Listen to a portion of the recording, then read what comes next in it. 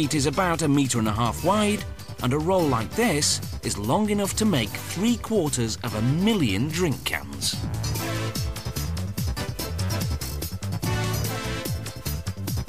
The sheet feeds into a press that punches out round pieces that'll be formed into cans. The punch press actually performs two operations. It punches out a disc 14 centimetres in diameter, then bends it into a cup.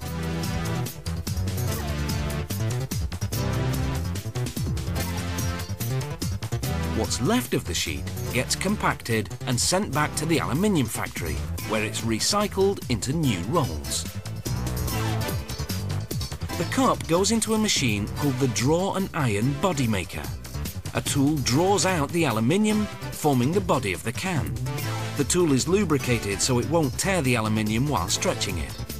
The lubricant also acts as a coolant because the aluminium heats up as it's being worked.